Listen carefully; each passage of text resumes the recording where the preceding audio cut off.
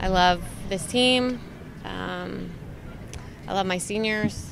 I did not want this season to end ever. Just I enjoy every minute uh, being together, whether we're out at training or we're at a team meal together or you know we're just walking over to our practice field. They them popping into my office, whatever it is. Like this is such a great group.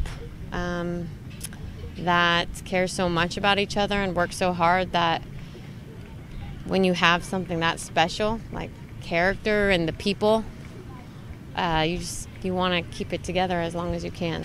It was very unlucky, but I'm very proud of our seniors. I, I wish we could play again for them, but sometimes soccer is hard, and today it was very hard. But I'm proud. I told them that uh, our season is not defined by this one game. I know it feels like that to them right now, but they've accomplished so much.